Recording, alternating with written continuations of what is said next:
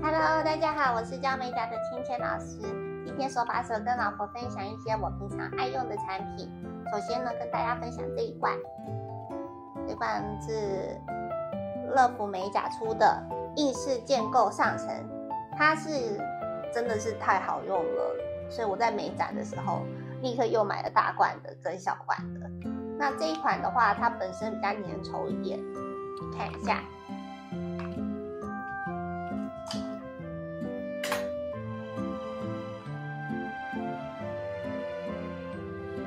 它本身是比较粘稠一点点，但也不至于到粘稠到没有办法制品。那本身做建构上层，我觉得是好用的。但如果很追求亮度的同学的话，还是要另外再上上层会更好。可是我觉得一般来讲就够了。那为什么我会超级推荐它的原因，是因为它粘钻真的是太好用了吧？它真的是超级牢固。给大家展示一下这个甲片。这甲片上面的小珠珠很小，你们可以看到吗？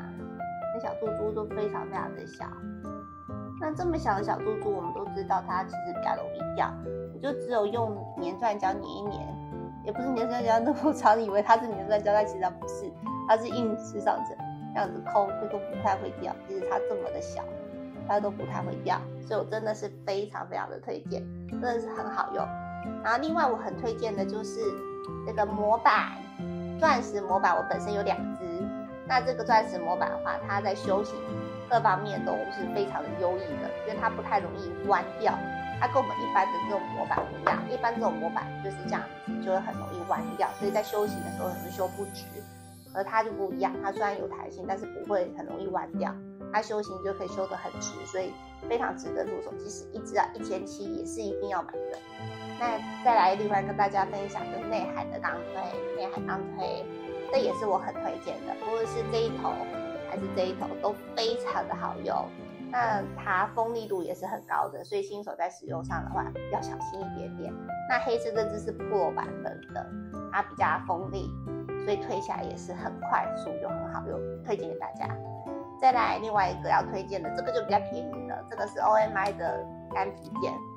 那我都习惯使用单叉，口径十二的，我喜欢小小口径一点的，然后单叉来使用比较喜欢。那今天的这个分享就到此结束，这些都是我真心的好喜欢的产品哦，非常推荐给各位同学一起做参考。那如果喜欢我这支影片的话，记得给我点赞、订阅、关注我，谢谢大家。那我们就先下次再见喽，拜拜。我是 Iris，关注我，美甲的路不迷路哦。